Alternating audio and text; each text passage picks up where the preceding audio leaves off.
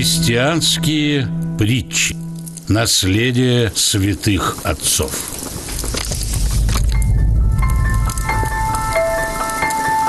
Связка гороха.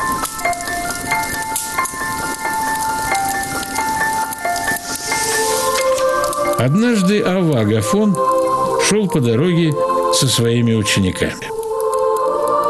Один из них нашел на дороге небольшую связку мелкого зеленого гороха и сказал старцу, «Отец, если ты благословишь, то я возьму это». Старец внимательно посмотрел на него и, как бы удивляясь, спросил,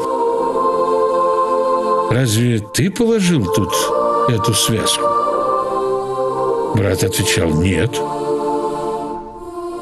Старец сказал, как же ты хочешь взять то, чего не положил?»